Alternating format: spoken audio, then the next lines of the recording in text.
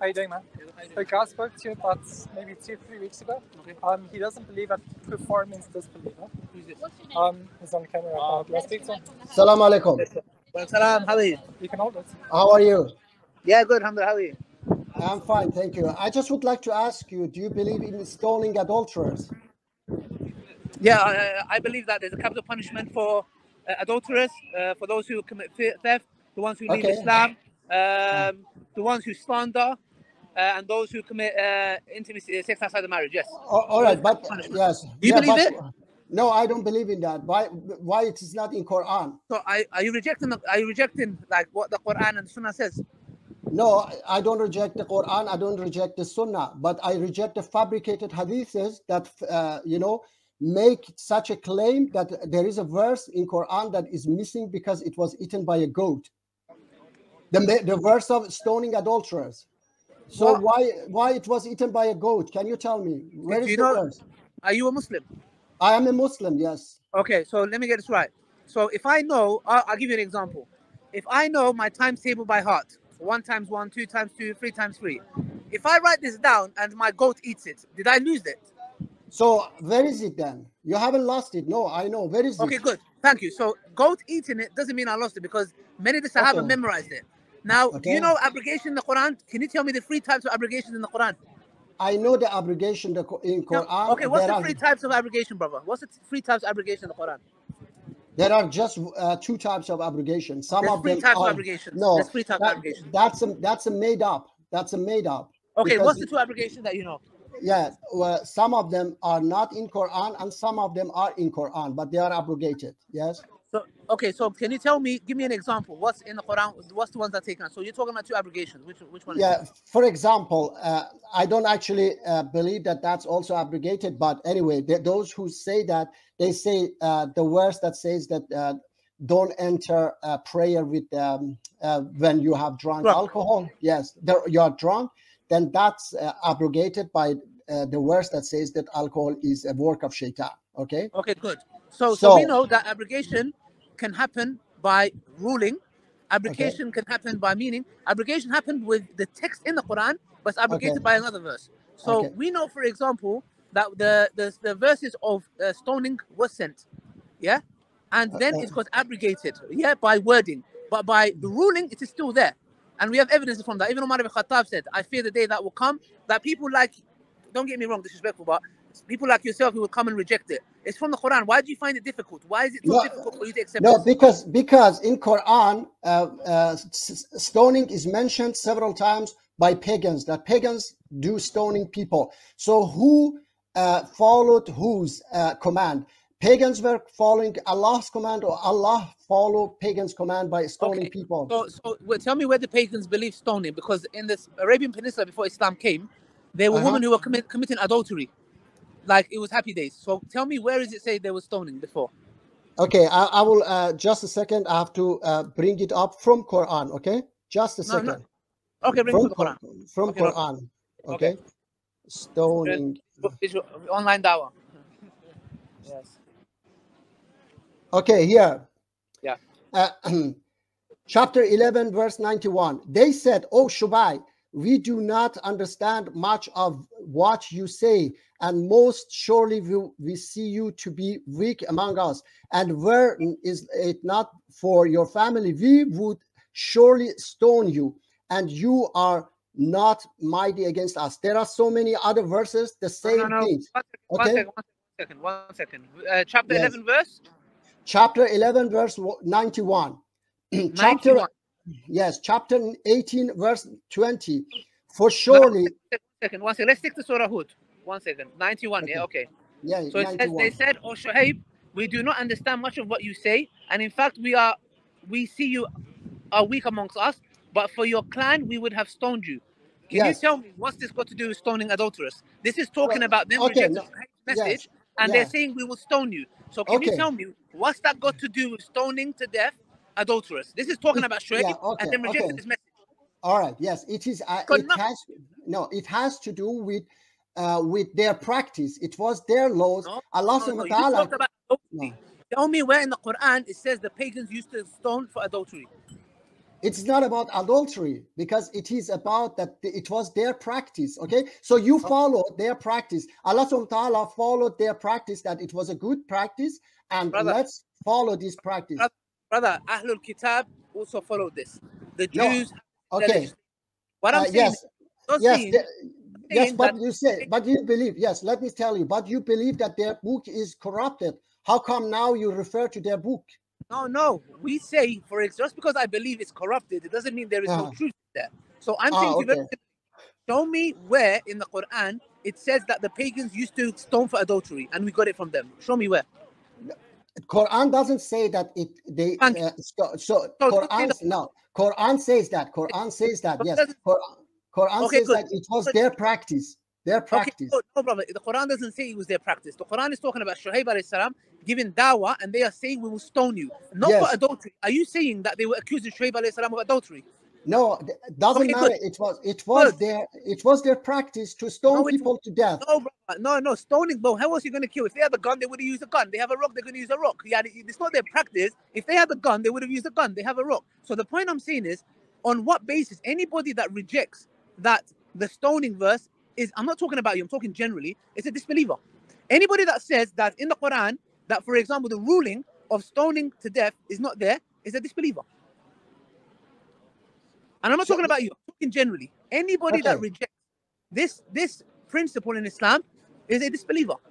so let me see let me see so uh, what somebody has to do to be a barbarian okay if if for example somebody must pass a, a, a, limit to be called barbarian so do you think stoning human being is barbaric or not No, no, no, I don't believe it's barbaric at all.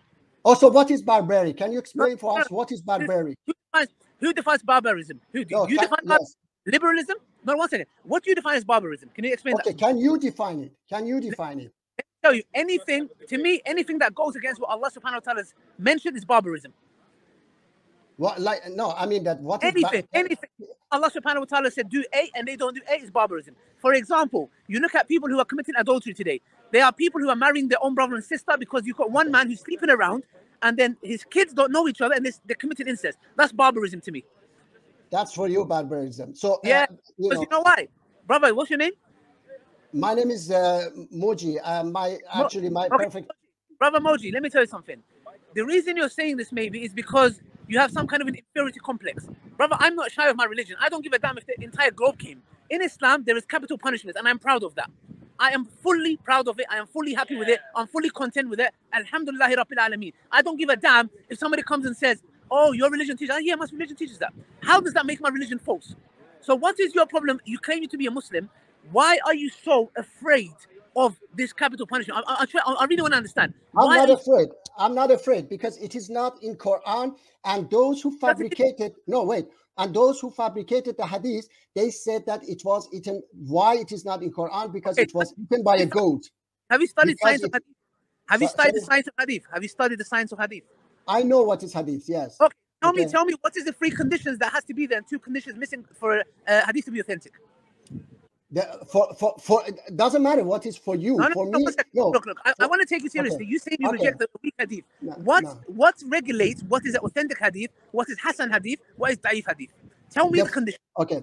The first condition is that it has to match with Quran. It doesn't have to go against Quran. That's the first condition. Okay. Brother, there's nothing that is going against the Quran. Okay. Do you do you believe that the Prophet Muhammad married Aisha at six? No, I don't believe in that. Thank you. Let me tell you a problem, brother. Let me tell you a problem. Okay, Your yeah. problem is basically you live in the Western world. You are indoctrinated by liberalism. You are so afraid to put, preach your religion that you are rejecting these things. Me, I tell you, the Prophet married Aisha at six and consummated at nine. I have zero problems with that. The difference between me and you is the following: I came to Islam. Uh, was you born Muslim or did you come to Islam? I, I'm a uh, converted Muslim. Yes. Okay, you're converted. I came to Islam 10 years ago. Brother, I'm not here to sugarcoat my religion. My religion is my religion. So you you are too afraid. That's the reason why people like yourself, I don't mean in a disrespectful way, please forgive me, yeah? Mm. The reason why you have this is because you have an inferiority complex. Meaning you are afraid, oh my gosh, I can't say this. I don't, I'm not here to please anybody. So all I'm saying to you, my brother, is don't be afraid. Embrace your I'm religion. not afraid. Look, And I- Allah says in the Quran, don't be amongst those who take some parts of the verses and reject some of them. We take the whole Quran, the Sunnah as a whole. I don't pick and choose based on the society that I'm living in that they've changed the norms. I don't give a damn about them. Today, homosexuality was a mental disease. 50, 40 uh, years ago. Now it's accepted. No problem. That's their worldview. They can do whatever they like. But I don't uh, um, um, uh, submit to that. So the problem I see with brothers like yourself who reject the hadith is you are inferior. You have this inferiority complex where you're afraid. Oh my gosh, the Prophet married Aisha at six. How am I going to explain that? We can explain it, brother. I explain every day here. Capital punishment, yes, it's there. The capital punishment for apostates, it's there. I am fully proud of that. All I ask you, my dear brother, is be proud of your religion. Don't be shy about it. There's cameras here, and I'm saying it to them. You know why? Because it's sad. You like you know when Abu Bakr, the, the, the Quraysh came to Abu Bakr and they said, You say they said your your your friend Muhammad, peace be upon him, said that he flew. What did Abu Bakr say? Did Abu Bakr say, No, I don't believe that? He asked a simple question. He said, Is what you're saying true? They said yes. He said, Then it is, then I believe it.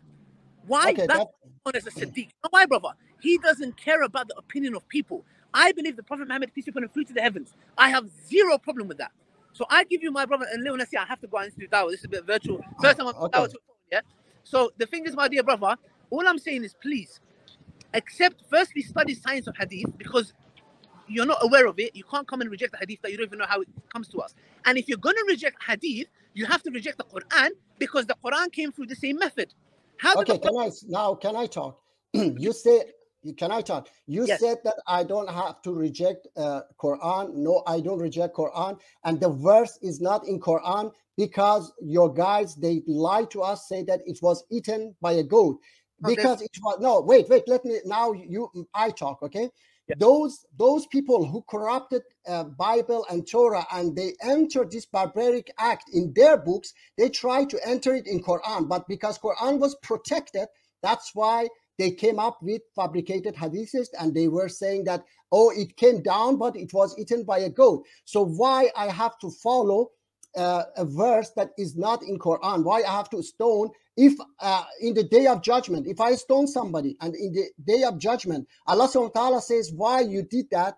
Uh, or, or no let me say like this that if i don't do that allah subhanahu wa ta'ala tells me why you didn't do that i it was my command I say that it wasn't in Quran. So how he can put me in task and say that you're supposed to follow something that is not in Quran. So do you believe that there are fabricated hadiths or not? Do you believe in that? I believe there are fabricated hadith and we use the science So- of hadith to decide it.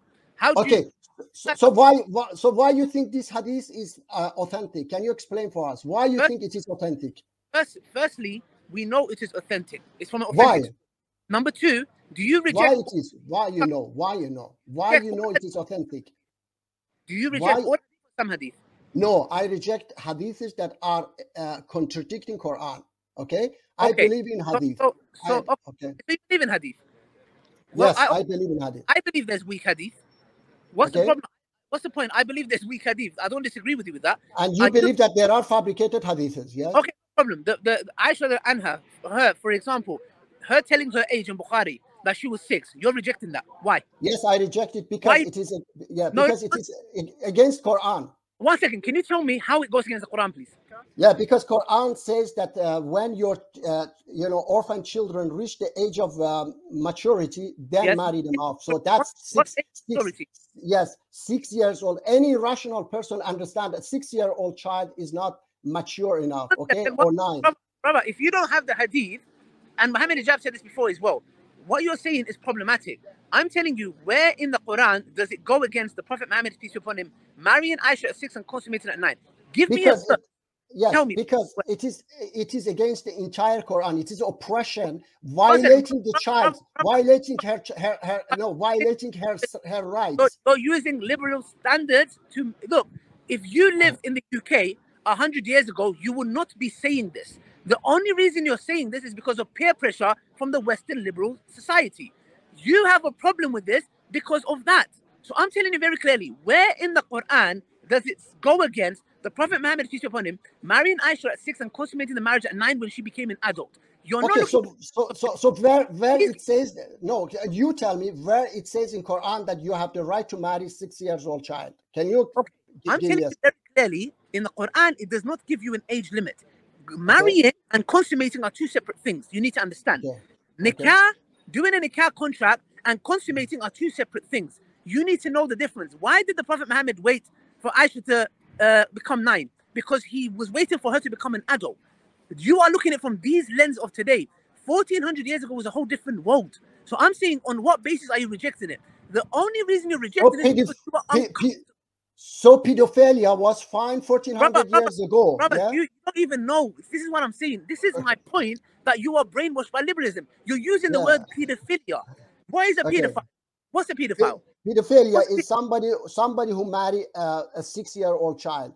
Okay, so are you accusing the Prophet Muhammad of uh, uh, of No. I'm not accusing. I'm I'm accusing that those who lied about Prophet Muhammad. brother, brother, okay, brother, it's an Okay. authentic hadith. You said you don't No, reject authentic hadith. How? No, it is not authentic. It is a fabricated hadith. Brother, okay? brother, th- So how do you know it is? How do you know it is brother, brother, authentic? with all due respect, uh, you uh, just How do you know? How do you know it is authentic? Can you tell me? brother, do you know the Quran? The hadith came to us same way as the Quran did. Yes, I know. Okay, one second. So you're telling me now I reject weak hadith. When I give you an authentic hadith, you say I also reject that. Do you know why No. you're rejecting it? Do you know why you're Okay. rejecting it, brother? Because you're thinking this doesn't make sense to me, brother. No. You have a limited mind. Listen to me, please, brother. Okay. You have a limited mind. How are you using your limited mind with the liberal Western values that have been indoctrinated in your head? The only reason you have a problem with the Prophet's marriage to Aisha is because you live in the Western world today. If you mm. didn't live in the Western world today, you would not have a problem.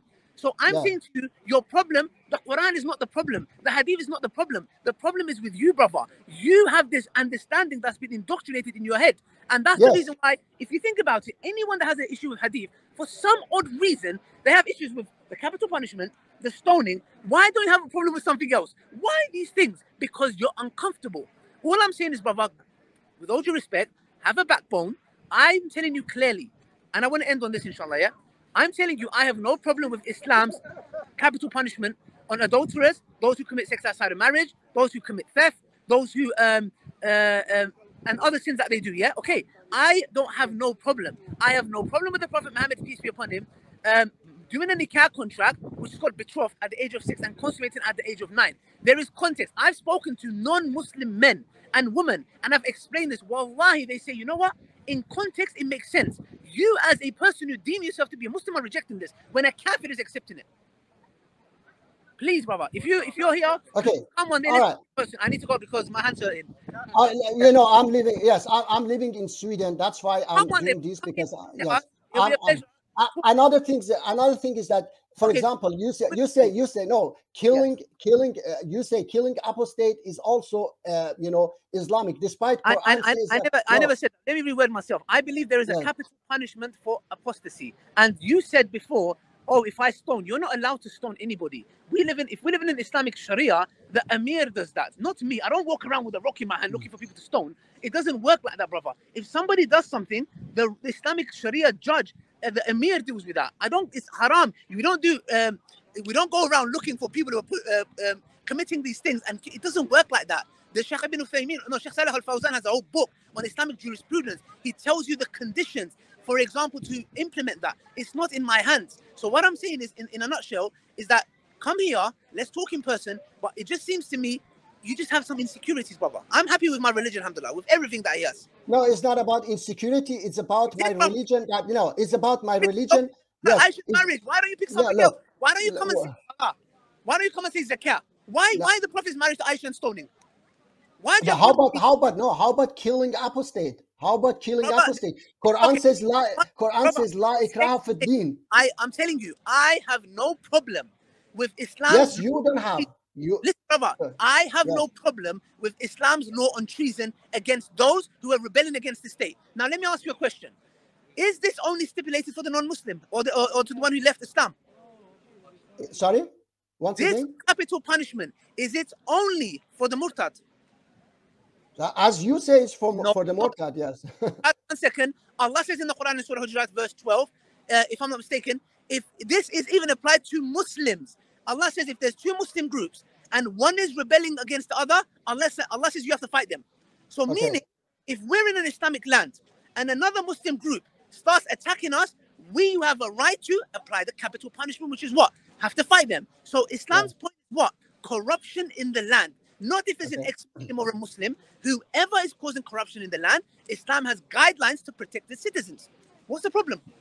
But Allah says la ikraha fi din. There is no force in religion, so you can decide. You, you can decide to be a Muslim or you can be uh, anything no, else. So brother, so what is your problem with that? So you go against. There Sorry? is no promotion in Islam, meaning when Islam was con- uh, taking over lands, Islam, no one, no Muslims forced non-Muslims to become believers. However, once you come into the fold of Islam, there is a capital punishment if you leave, and that is basically treason. Like, look at Edward Snowden. Where is Edward Snowden? Freedom of speech, America. Where is Edward Snowden? Edward Snowden's hiding in China. I mean Russia. Yeah, and even that guy who's in WikiLeaks. Yeah, where is the guy? What's his name? Uh, I forgot his name. Yeah, the guy, the guy who was uh, uh, um, locked up in the, the embassy. Where is it? The point you're saying is, again, it goes back to insecurities, brother. I have some, I would say, with it, with all due respect, please don't find out. I'm trying to be disrespectful. We need to have a backbone. And Okay. I, trying to come speak corner. I need to go now, brother. This brother wants to speak to you. No, no, I want to speak to you. Me? Oh no. Okay. All right. I need to go. No, I, I I have to give you several verses in Quran that it goes against There, hadith. The Prophet said, anyone that leaves his religion, uh, capital punishment. Thanks. I'm so sorry.